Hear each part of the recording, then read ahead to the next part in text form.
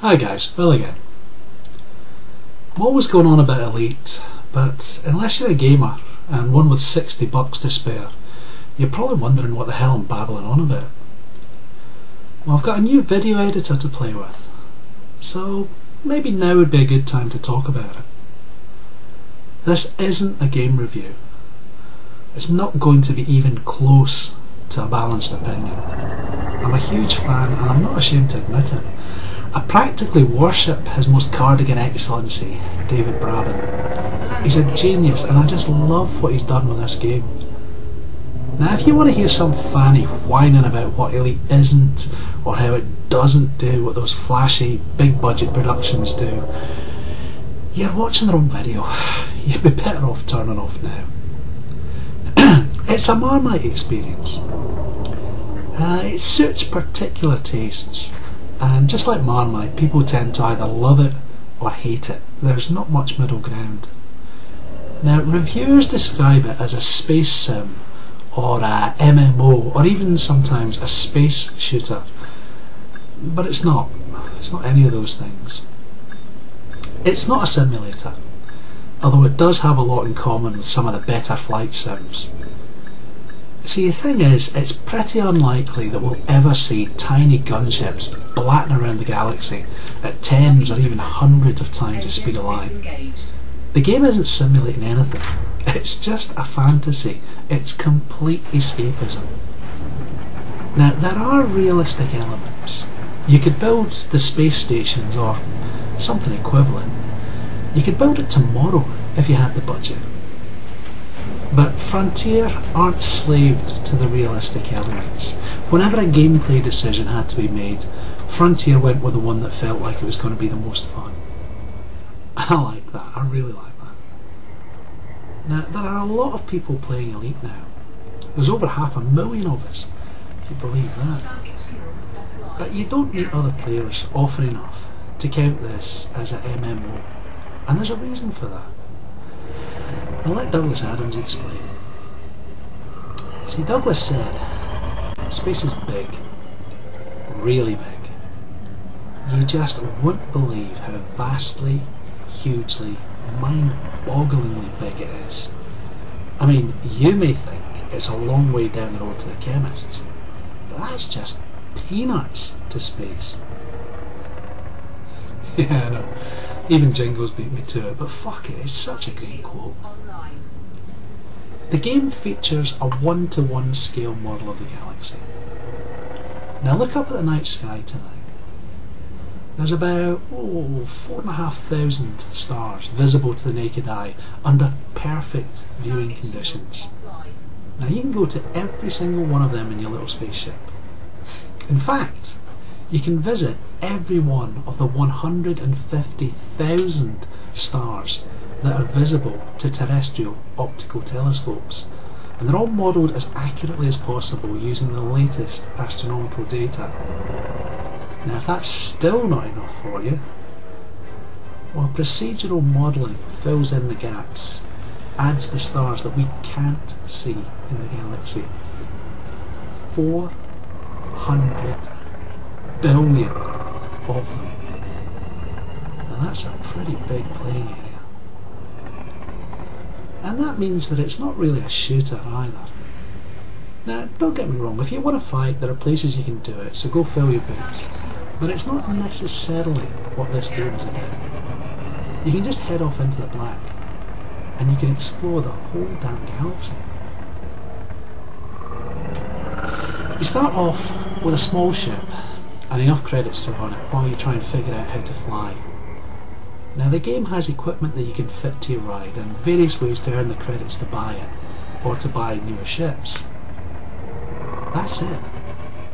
There are no guilds.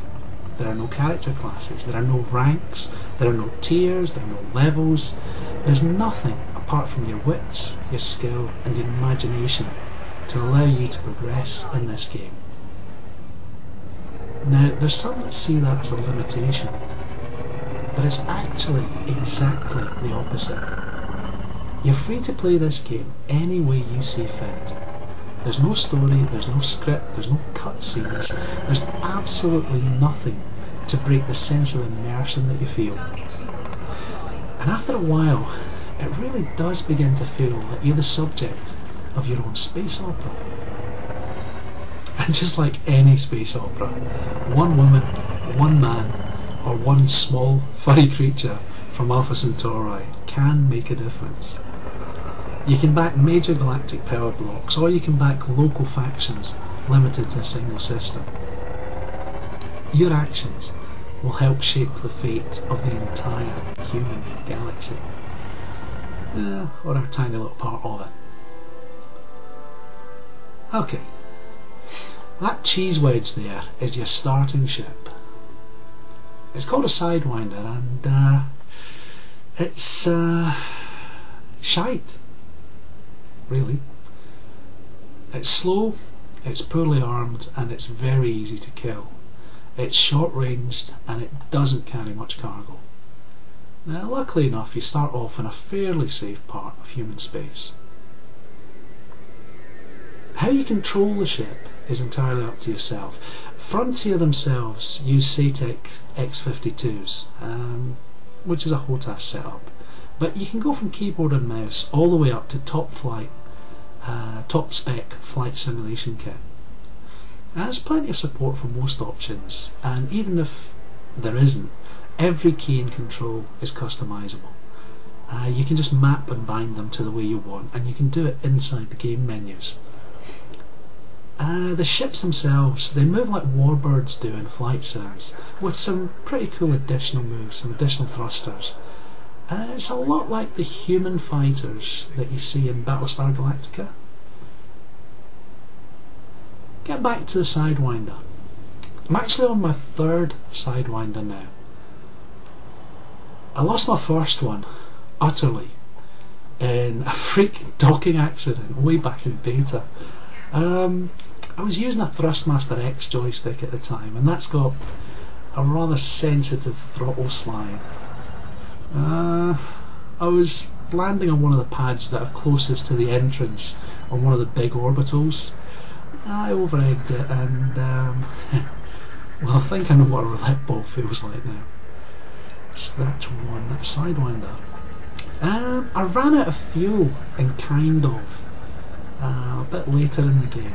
I ended up out of gas, out of air, and out of ideas in an uninhabited binary system, and it was surrounded by nothing apart from equally barren wastes within my ship's remaining jump range. You know, it was just like, oh, game over, man. Now things have changed. Uh, now that the game's up and running, there are actually players who'll come out and bring you fuel these days. And it's all off their own backs, it's nothing to do with Frontier, they haven't jacked this up. I think that says it all about the elite player base, really. You know, we've even got our own volunteer rescue service. I'm not going to lie to you though, uh, when the game went live, I hot footed it straight across to my new ship and I dropped my third Sidewinder a wee bit, like it was a hot brick. Now, one of the bonuses of being an early backer, at least with the package that I bought into, was getting a shiny new fighter stored in the home systems. And whereas that Sidewinder is so ugly, you'd have to wrap it in bacon just to get your dog to bite it. The Eagle, the fighter that we were given, is just ah, it's sleek, it's sexy, it's fast, it's well armed, it's amazingly agile. It's one of the best, one of the most fun ships in the game. And I'm afraid the poor wee Sidewinder just didn't get a look in. Which is a shame. A real shame. I like a fresh paint helps. Now, you can upgrade everything on the ship, so it's not quite as shiny as I make it out to be. And don't forget, it's a training ship. It's so weak that you have to be pretty competent to succeed at any of the game's roles using one of these. Uh, that's the whole point. Now, personally, I think that's a good thing. You know, they're getting you to drive a Ford for a while before they let you loose on a Ferrari. Now, that last bit of footage was a wee bit taking down an eagle and chasing off a cobra. They're both much more powerful ships. They're bigger, they're faster, they're much more heavily armed. But this is a game of skill. If you can keep out of the other guy's guns, but keep on hitting him with yours, then you're going to win, no matter how much better his ship is. Uh, of course, those those were AI noobs. Anytime you're looking at your scanner, anytime you're looking at your messages coming in, keep an eye out for any contact that's got the letters CMDR next to their name. Those are human pilots, commanders, and the chances are that they're pretty good by now, especially if they're in an unusual or a powerful ship. Try not to get into a fight with them, and especially try not to get into a fight with them if your ship is anywhere close to stock. Okay, here's me winding up uh, my Fer-de-Lance, I think, with some basic manoeuvres. Now, pitch and roll are your strongest axes. Yaw is much weaker. You can strafe up, down, left and right, and you can even reverse thrust. Um, I haven't actually shown it, but there's also a flight assist routine damping down your ship's movement. Makes it easier to, to fly the thing. You can disable it, and the ship will fly in a much more Newtonian manner. There's advantages to doing that, um, but it does make it trickier to fly. Now notice how it's possible to keep the nose of your ship on the target even when you're moving in another direction. You want to practice that. It's a terrific advantage to be able to hit the other guy without being hit. Now if your weapons are pointed at him but his nose is pointing away from you, it's going to make it a lot harder for him to hit back, particularly, and I'm talking about players here. Uh, if he's got fixed weapons, he needs to point the ship at you. Okay, here's another thing. Uh, you see how deploying the cargo hatch brings up a secondary screen? If you keep the canister, that's cargo, inside the crosshairs, you can scoop it up. Well, you will if you keep your speed below 40 metres a second. Um, thing is, that's classed as salvage and that's illegal in most systems. And you can be fined if a ship passes by you, um, scans you and finds illicit goods in your cargo hold. Now you don't have to pay those fines. Nobody's going to make you pay them. But if you get enough defaulted fines on you in any particular system, you're going to get labelled a criminal. And once you're labelled a criminal, there's a bounty on your head, and there's no consequences against anybody, players or AIs, who shoot at you. Uh, for that reason, I try to clear my fines straight away, but some players like to build them as high as possible. It's to their own. Um, every game, every computer game's got a grind, and in this game it's got three aspects. You need credits to improve your ship, or to buy a new one. So you have to grind credits. Combat, exploration, trade, they'll all earn credits. Um, likewise, there's a rating system that runs. Now, it doesn't. It runs all the way from harmless to elite and it does affect the kind of missions that are available to you in various menus, uh, which is which is nice. But the journey to elite is what most elite players are on, and the title's worth a lot, even if there was no bonuses at all for it. Um, the more you the more you play, the better you get, the better your performance, the higher you'll be ranked. Now the final thing is you can improve your standing with the three main power blocks um, and that unlocks various advantages, bonuses and in two factions it even unlocks uh, player controlled ships which is nice. Now how you do all of this is entirely up to yourself. You can carry out acts of piracy, you can become a bounty hunter, you can trade, you can explore, um, you can go mining, you can go smuggling, you can carry out salvage runs, courier runs, basically whatever takes your fancy. Now there are paid missions on that bulletin board. Um, you can sell your explorative data in Universal Cartographics. You can cash in bounties and you can even shift black market goods in contacts, although not every space station has got a black market. Watch out for that one. Or you can just sell cargo and mine doors in the commodities market. While you're doing all that, you can reinforce or you can undermine the major powers' various figureheads. Uh, you can also boost the standing of local factions, or you can even head over to the forums and you can join like minded real life players in achieving player set goals of your own. There's all sorts on there, from cannonball runs, races, um, to deep space exploration missions. It's quite scary.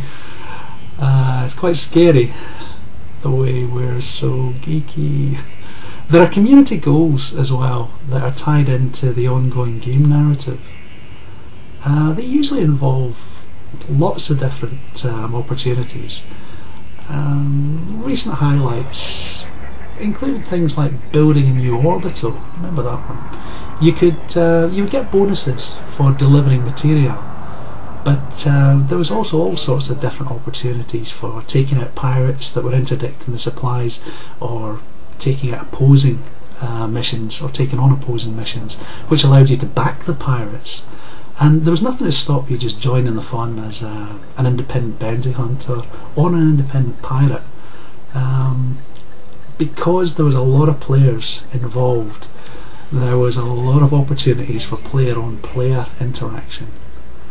Um, that's a real test of your skills. Definitely worth trying. And the thing is, I've barely scratched the surface. Now, if you're interested in hearing more about this, uh, please let me know. All comments, good or bad, are welcome below. And before you start, yeah, I know I'm a massive geek. That's not news. And if you've got any questions, any questions at all about it, fire away. Um, if I don't know the answer, I'll probably know somebody who does, and I'll try and get back to you. Anyway, latest guys. Thanks for listening.